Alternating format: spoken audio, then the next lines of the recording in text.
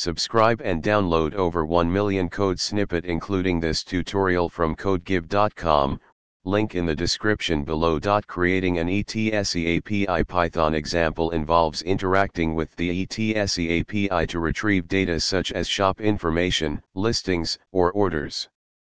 In this tutorial, we'll use the requests library to make HTTP requests to the Etsy API.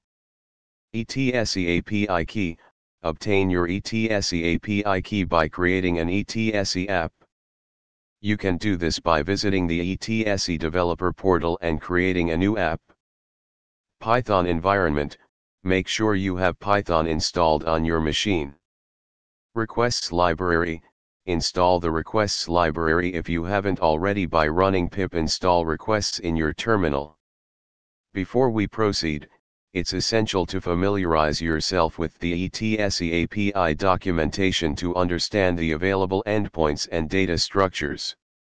Once you have your Etsy API key, store it in a secure manner. For this tutorial, you can set it as an environment variable.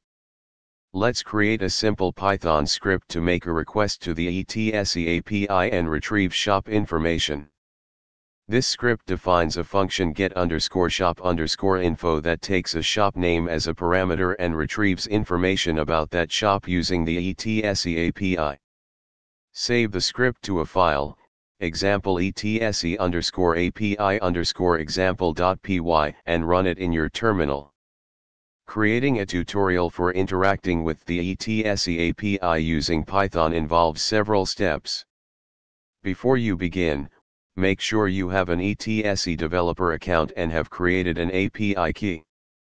The API key is crucial for authentication when making requests to the Etsy API. Firstly, you need to install the requests library, which will be used to make HTTP requests to the Etsy API. You can install it using pip. Go to the Etsy developer portal, https colon slash slash www.etsy.com slash developers, and create an account if you don't have one. Create a new app and get your API key. Create a new Python script, example etsy underscore API underscore example.py and import the necessary libraries. Add your Etsy API key and the base URL for Etsy API as constants. Now, let's make a simple request to get information about a specific Etsy shop. Replace your underscore shop underscore ID underscore here with the actual shop ID you want to retrieve information for.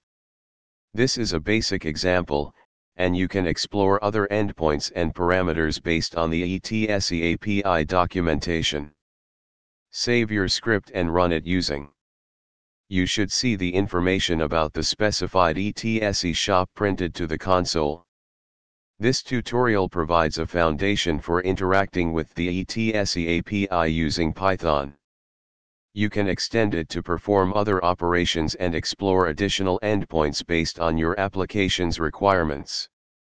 ChatGPT Creating a tutorial for the Etsy API using Python involves several steps. The Etsy API allows developers to access and interact with Etsy's marketplace data. In this tutorial, we'll cover the process of setting up an Etsy API key, making requests using the requests library in Python, and parsing the JSON responses. Prerequisites Step 1 Obtain Etsy API key. Step 2. Install required libraries. Open your terminal or command prompt and install the requests.